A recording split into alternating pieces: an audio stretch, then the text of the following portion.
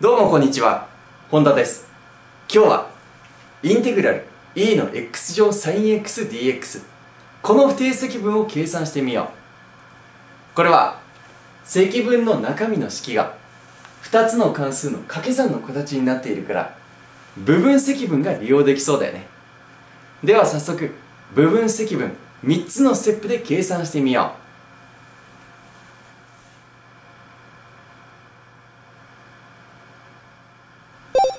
第1ステップ。2つの関数のうち微分する関数と積分する関数を決める。今回は e の x 乗を積分する関数 sinx を微分する関数にしよう。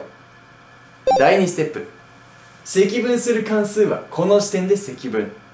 微分する関数は何もしない。第3ステップ。マイナスインテグラル。積分する関数はそのまま積分。微分する関数はこの時点で微分。これで部分積分完了。ここではにゃってなる。結局この積分計算できないんですけどってなるよね。確かに問題の式の sinx が cosx に変わっただけで根本的な問題の解決になっていないような感じがする。でもねこれでいいんだ。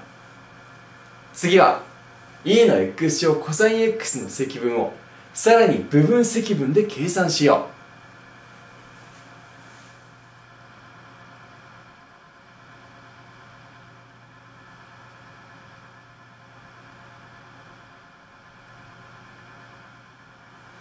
第1ステップ。2つの関数のうち微分する関数と積分する関数を決める。今回は e の x 乗を積分する関数。Cosx を微分する関数にしよう。第2ステップ。積分する関数はこの時点で積分。微分する関数は何もしない。第3ステップ。マイナスインテグラル。積分する関数はそのまま積分。微分する関数はこの時点で微分。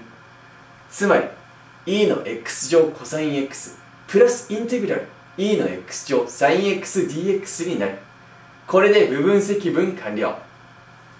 いやだからこの積分が計算できないんだってばって思うかな。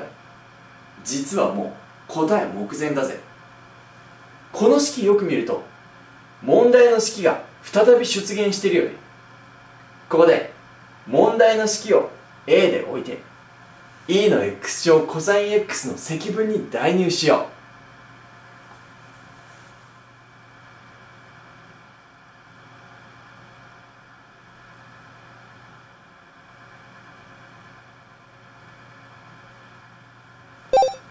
するとこうなるこの式の a を左辺に移行すれば 2a イコール e の x 乗かける sinx-cosx になるこの式の両辺を2で割れば a つまり問題の式は2分の1かける e の x 乗かける sinx-cosx プラス積分定数になる。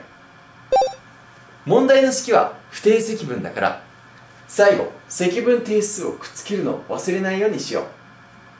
この問題面白いよね。今日の動画内容をまとめると e の x 乗や sinx、cosx のように何回か微分すると同じ形が現れる関数の積分は部分積分を何回か利用して積分の塊イコール正式の形に持ち込む。例えば今回の問題のケースでは e の x 乗 ×sinx の積分に対して。部分積分を1回行えば e の x 乗 ×cosx の積分の形が現れる。これに対してさらに部分積分で計算すれば e の x 乗 ×sinx の積分という問題の式の形が再び現れる。これを元に戻せば問題の式の塊イコール正式の形に持ち込める。今日はこの技を覚えよう。それではまた次の動画でお会いしましょう。ありがとうございました。